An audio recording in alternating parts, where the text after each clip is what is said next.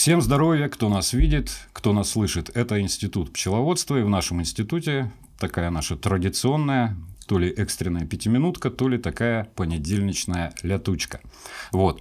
Мы будем говорить сегодня с издателем Примомедиа Виктором Сухановым. Я Руслан Овчинников, заместитель главного редактора этой самой Примомедиа.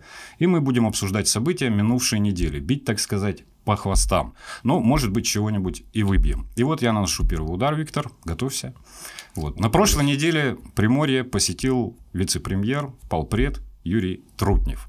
Вот, был у нас целых три дня, много что сказал, много куда съездил, много на что посмотрел, улыбался, вот, вот, пожалуйста, да, но и не только. Э, что больше всего зацепило и меня, и коллег в визите, да?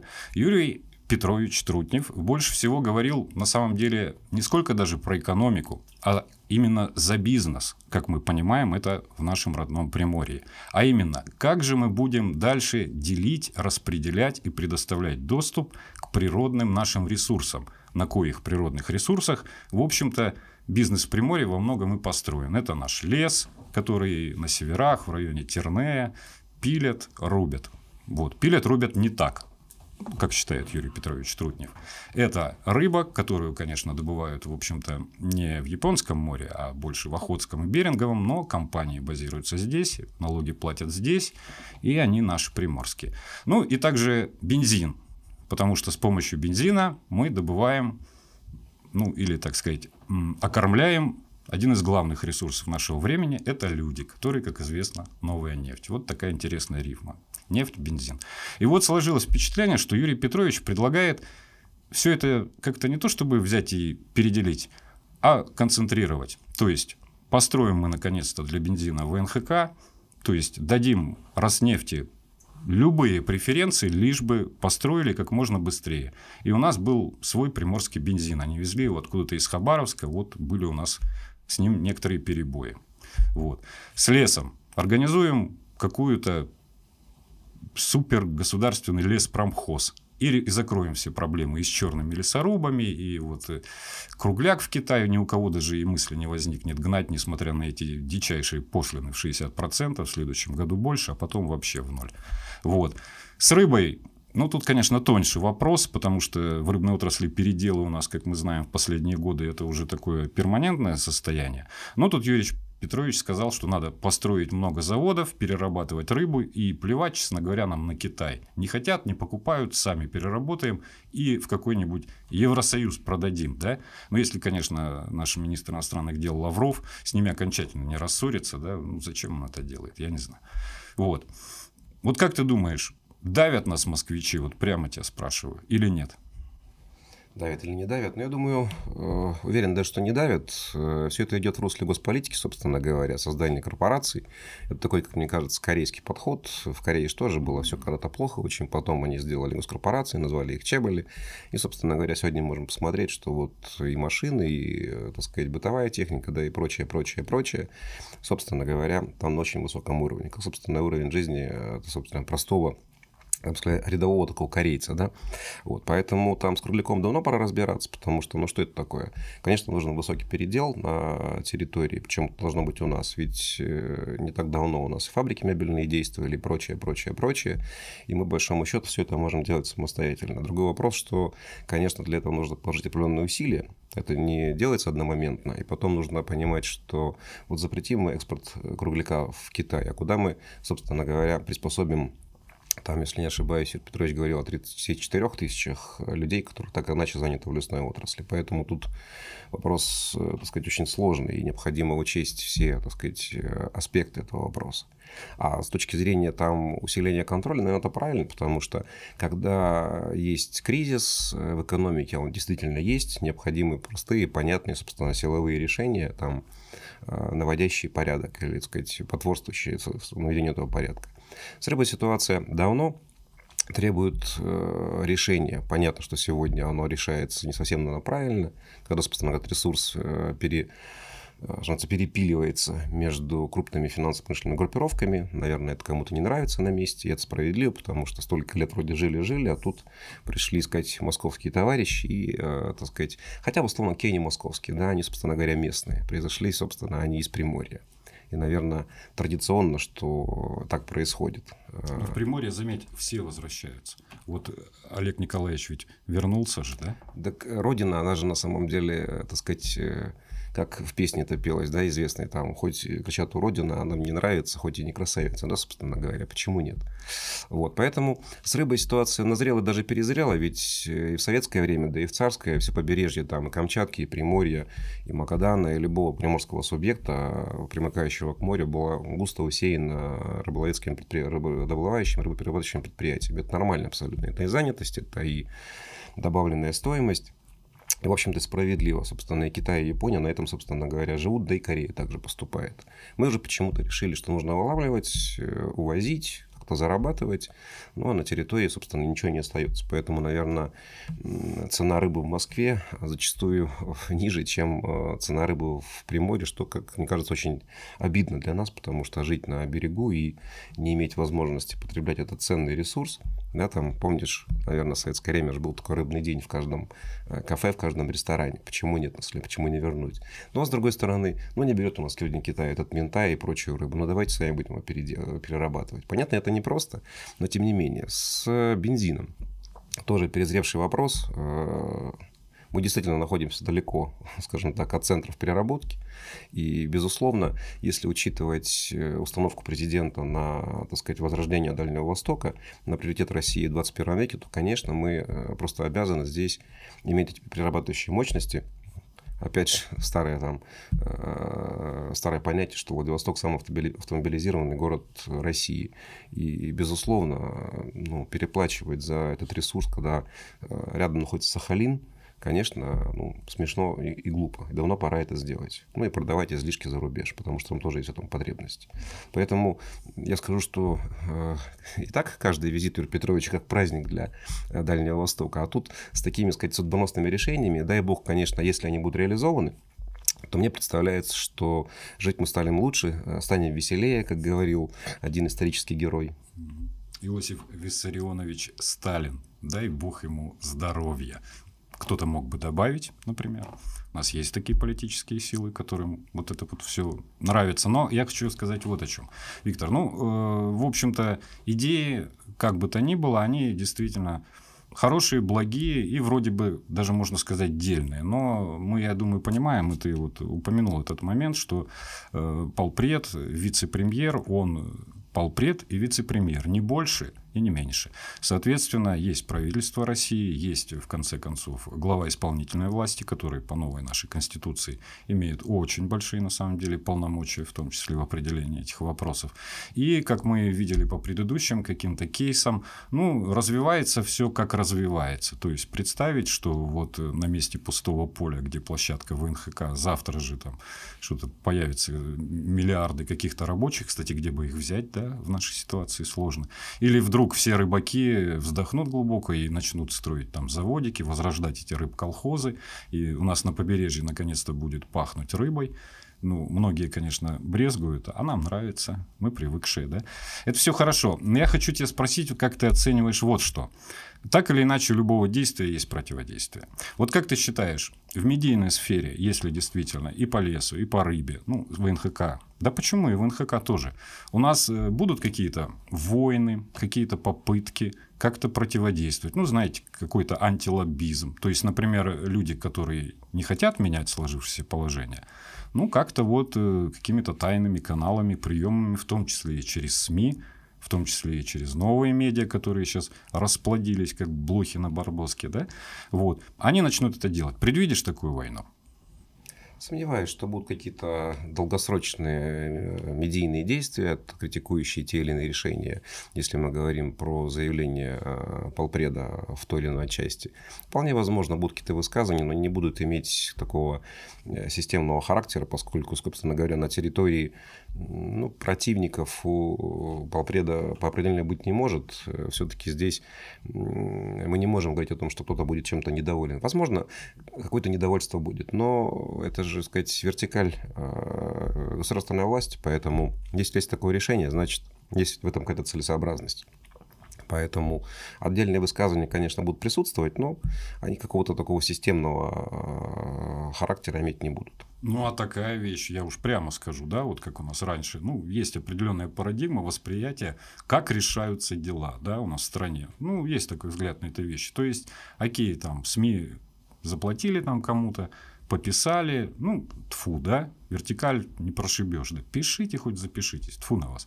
Хорошо, вздохнули, собрали чемоданы, вот у одного, значит, икра, а у другого, ну, какие-нибудь э, плашки из, э, я не знаю, монгольской редкой березы или кедра, ну, кто чем богат, да, и поехали в Москву, да, и там ходят по кабинетам и говорят, типа, не слушайте Юрия Петровича, нас слушайте. Так вот принципе возможно, как по-твоему сейчас? Это вообще очень важный вопрос. А цивилизованный лоббизм, конечно, имеет место быть, и он должен быть. Я вот из своей новейшей истории, что называется, из нашей новейшей истории, только одного лоббиста знаю, очень высокого класса, работающего вот в рыбной отрасли. Это Герман Зверев, и, который возглавляет... Тут бы мог подумать, я тоже его знаю, представь себе. Вот, да. Соответственно, вот это вот такой цивилизованный, наверное, инструмент, который действительно позволяет достичь тех или иных результатов. Не всегда, конечно, но тем не менее. Вот если работа будет двигаться в этом направлении, а, Э, такими, собственно говоря, инструментом, то, наверное, цель будет достигнута. Если же мы, еще раз повторюсь, говорим о каких-то медийных всплесках, то, ну, наверное, можно об этом поговорить, э, можно какое-то мнение составить. Но ведь ни рыбаки, ни э, лесники не составляют там, собственно говоря, подавляющего там части населения там, Приморского края или Дальнего Востока. Это лишь некая часть экономики, вот она может быть чуть больше, чуть меньше, собственно говоря. И при том ведь подавляющему большинству людей, занятых в этой отрасли, по большому счету, все равно как будут происходить те или иные действия. Главное, чтобы у них, что называется, была работа, заработная плата, свет и тепло в домах. Ну, э, хочу сказать нашим зрителям, слушателям, что то, что мы вот только что с Виктором говорили, это, как бы, знаете, такая, такой аперитив, да, такая закусочка, потому что самые вообще интересные вещи это в нашем экономическом обзоре, который у нас делает известный журналист Олег Клименко, это у нас на сайте. Почитайте, вот там, собственно, будет главное блюдо, о чем мы сейчас говорили.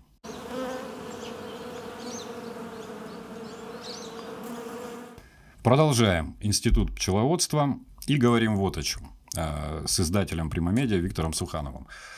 Вот на нашем замечательном коллаже мы видим Юрия Трутнева, мы видим Олега Кожемяка, мы видим наш Золотой мост, мы видим гостиницу, которая уже не Хаят, а уже Акура. Да? То есть вот замечательные вещи, о чем известен Владивосток вообще в федеральной повестке. К чему бы это я, да? Потому что как-то так получается, Полпред приезжает в Владивосток, так сказать, э, работает здесь, визит у него многодневный, три дня, да?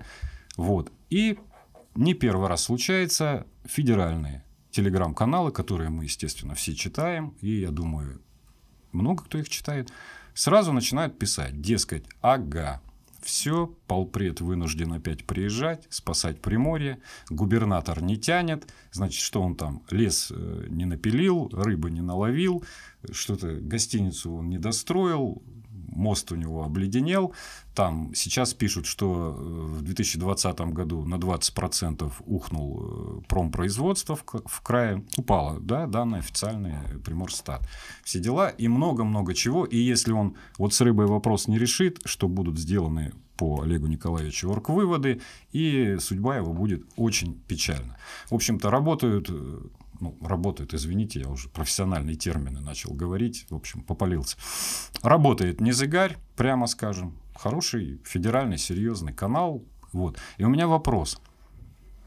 Вот если предположить, что Незыгарь кто-то убедил в том, что надо бы вот присмотреться к Олегу Николаевичу, это вот что могут быть за такие силы такого же серьезного уровня? Как, как ты думаешь? Сложно мне сказать, э, найти ответ на твой вопрос, кто бы это мог быть. У любого губернатора, наверное, есть какие-то противники, да, и, наверное, неправильно будет связывать вот э, системные вот эти атаки, если лишь не повторяются системно, да, с приездом э, Юрия Петровича связанные. Мне кажется, кто-то просто старается испытывать раскачивать лодку, как э, да, у нас говорится, там, в какой-то момент закинуть пару-тройку смыслов, чтобы, сказать, посмотреть на реакцию. Я вот сколько Олег Николаевича не знаю, но ведь э, э, самое простое слово, которое к нему можно применить, так это Бэтмен, да? Вот он уже четырежды губернатор, и до этого очень непростая судьба с точки зрения была его восхождения на вершины, будем так говорить, законодательной исполнительной власти, что такое не было в его судьбе. Э, ну, про него уже много сказано, что называется. Наверное, такого, скажем так, э, уровня человека, который бы, там, опять же, четвертый раз там не возглавлял территорию, наверное, найти сложно. Мне кажется, он к этому уже привык. Ну, пишут, собака, собака, что называется, лает, э, караван идет. И э, как мне представляется, сколько бы ни писали, по большому счету, кроме, может быть, некой досады и обиды, ничего происходить не будет. Ну, хотя, это... с, хотя, с другой стороны, перебью, да, у каждого губернатора, как правило, есть, я так понимаю, карт-бланш, там 2-3 года. Вполне возможно, что определенные силы пытаются, что называется, пробовать его на зуб. Там потечет, не потечет, справится, не справится. Мне представляется, что он справится. Таких случаев у него уже очень много было в карьере.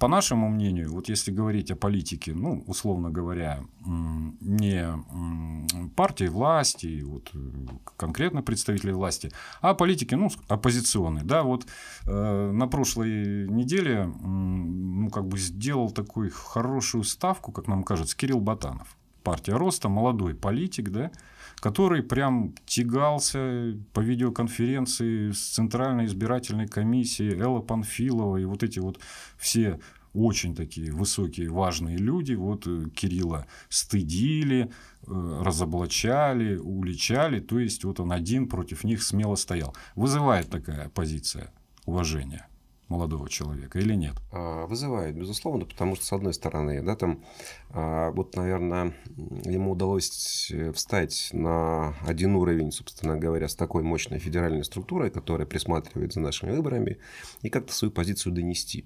Удалось это ему не удалось.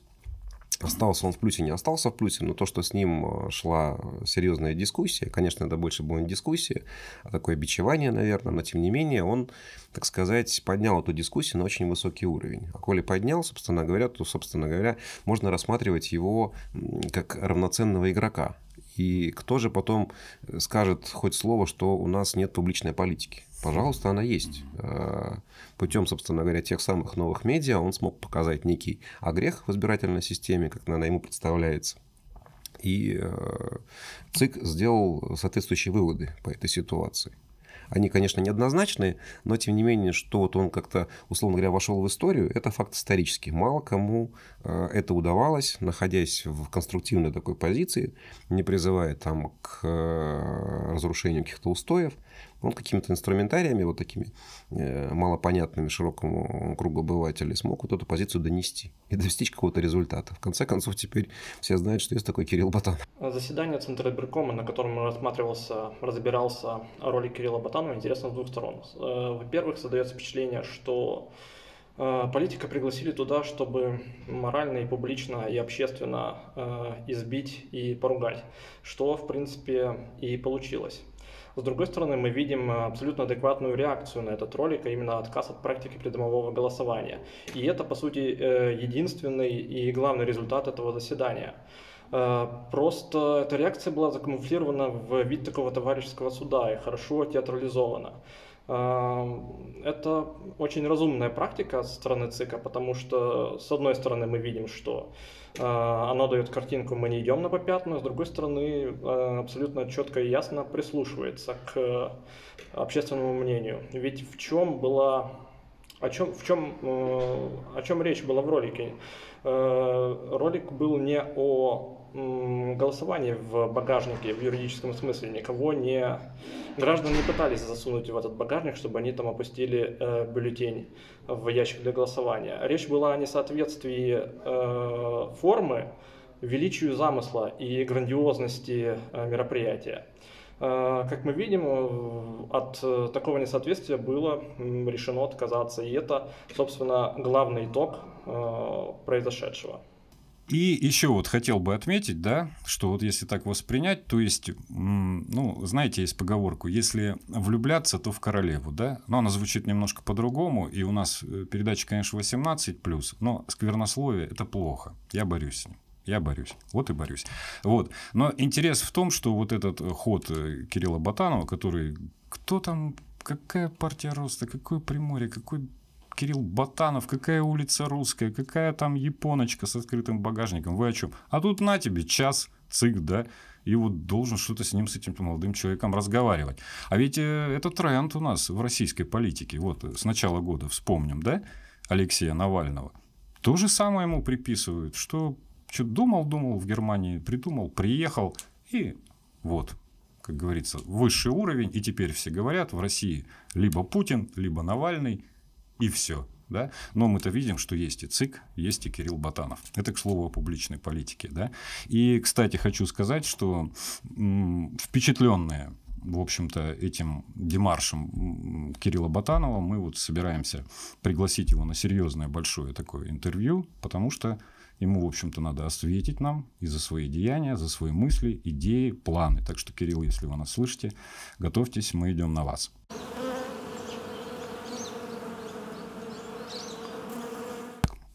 Институт пчеловодства, наша летучка э, с издателем и Примамедиа Виктором Сухановым продолжается. Поговорим об отставках. Да? Чиновникопад, как мы любим, красное словцо, трескучий заголовок, то есть уходит в отставку просто ветеран приморской исполнительной власти Александр Костенко.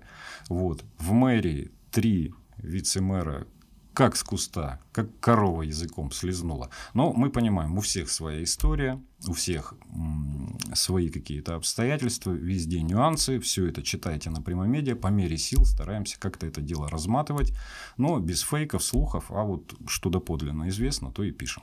Стараемся, очень стараемся. Виктор, а вот опять-таки приехал Трутнев, началось вот это, посыпалось, так удобнее воспринимается.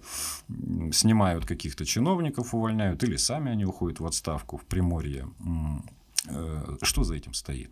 Компания? Ну, думается, мне вряд ли Юрий Петрович будет, так сказать, вмешиваться в э, прерогативы, так сказать, э, исполнительной власти Приморского края и говорить там вот этого хочу, вот этого не хочу.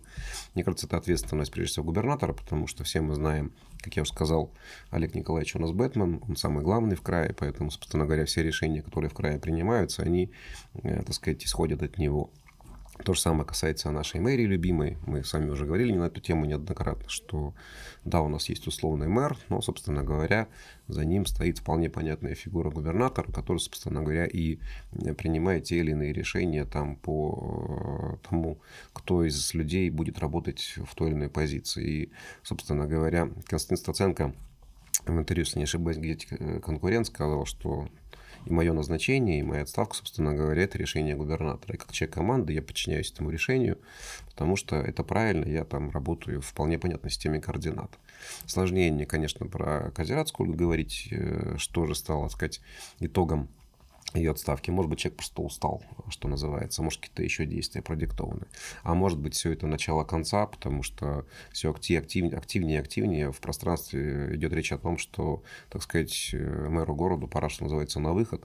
Своими сказать, действиями он э, наносит э, имиджевый ущерб э, губернатору. И, наверное, в преддверии выборов, в принципе, будет правильно, наверное, отправить его в какую-нибудь отставку и там назначить, не знаю, там куда-нибудь в другое место, ну, чтобы не пропадал, что называется, ценный управленческий ресурс. На мой взгляд, а, кадровые решения, а, которые были проведены как на уровне а, администрации города Владивостока, так и правительства Приморского края с начала текущего года, не стоит рассматривать в отдельности, да, это, в общем-то, такое комплексное решение, пакетное. И за исключением разве что увольнение начальника управления образования города Владивостока. Здесь исключительно ситуативная э, история, связанная со скандалом вокруг э, директора школы номер 28. То есть общественность была возмущена, что кто-то пытается в очередной раз уволить директора. Вот. Все это вышло в медийное поле. Вот. А губернатор был вынужден подключаться к этой а, истории. Ну и каким-то образом для общественности необходимо было а, добиться справедливости, да, и ставка начальника управления а, образования, который, в общем-то, курировал да, эту сферу, а, ну, стало решением, разрешением а, этой ситуации. Ну, вот. А что касается остальных отставок, пока не было, кстати, назначения, что примечательно, да, то есть э, э, очень важно, кто займет те или иные посты, потому что эти посты ключевые. А, вот, то есть э, это и э, отставка, смена главы Минлесхоза, это и уход а, с поста министра а, природных ресурсов а, Игоря Геннадьевича Степаненко, который вошел в команду Олега Николаевича Кожемяка после выборов губернатора, и сам Степаненко участвовал в этих выборах как кандидат. Вот. Почетная, наверное, да, почетная, действительно заслуженная отставка Александра Ивановича Костенко, бывшего первого вице-губернатора Приморского края. Вот. И, кстати, практически одновременно уход первого вице-мэра а, города Владивостока а, Ольги Козирацкой, да, это вот, наверное, а, те решения, которые символизируют не то чтобы перезагрузку управлен... управленческих структур Приморского края, но, наверное, символизируют окончание переходного периода. То есть на сегодняшний момент, наверное, можно так оценивать, да, глава региона понимает, что чувствует, а, что ситуация в регионе находится под его полным контролем. А, ну вот э, в дальнейшем, конечно, будет интересно посмотреть, кто займет эти позиции, то есть какие будут назначения, что это за люди, что за персоны, откуда. Вот, так что будем следить за развитием ситуации. Что касается Александр Костенко действительно ветеран приморской политики, ветеран приморской власти. И тут, я думаю, все-таки, наверное, вопрос здоровья, а, скажем так, который все-таки является главным при принятии решения там, уйти в отставку. Хотя, мне кажется, вот я в этом убежден, а, приморской исполнительной власти будет сильно его не хватать, поскольку специалисты такого класса, конечно, ну, наверное, э, вот э, на нашем властном Олимпе, наверное, нет. И скоро он не появится, поскольку все-таки для этого должно пройти определенное время. Э, специально перед нашим эфиром сегодня освежил в памяти, какими, какие сферы курировал Александр Костенко э, в краевом уже правительстве, да. Ну, э, знаешь, как-то не получилось у меня опять-таки волос к бороде приклеить и придумать какую-то конспирологическую теорию. А вот же, вот понятно, вот у нас промпроизводство рухнуло на 20%. Ну, конечно, по состоянию здоровья. Нет, не курировал он эту сферу, так что вот каюсь, загадочка не выстроила. А скажи, пожалуйста, вот э, такая вот история, вот тебя как человека, как жителя Владивостока, очень циничный вопрос такой, но откровенный, Любопытно. откровенный ответ требуется.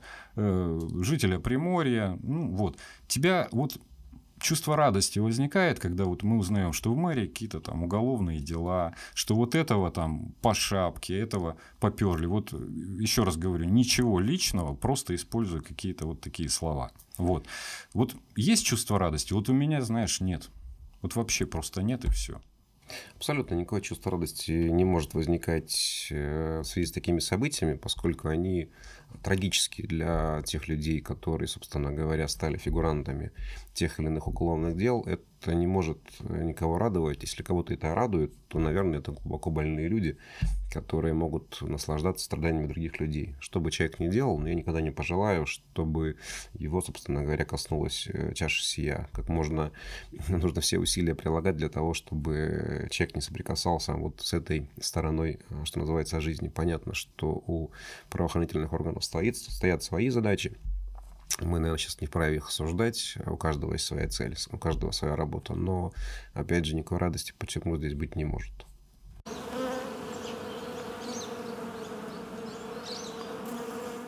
Институт пчеловодства, время выходит, но один вопрос остался. Это, конечно же, льготные билеты для теперь уже всех дальневосточников, хотя там много нюансов и оговорок. Честно говоря, вот я лично такой принципиальный домосед, и вот у меня не свербит, что вот хочу в Москву слетать там, хочу в Питер слетать, Васильевский остров по работе, Э, Виктор, сколько угодно. Вот.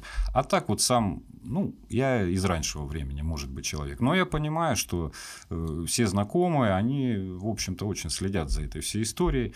И у нас опять получается, что дали дополнительные миллиарды, выбросили билеты, люди там работают в аэрофлоте ночами, стараются как-то удовлетворить э, этот пиковый спрос.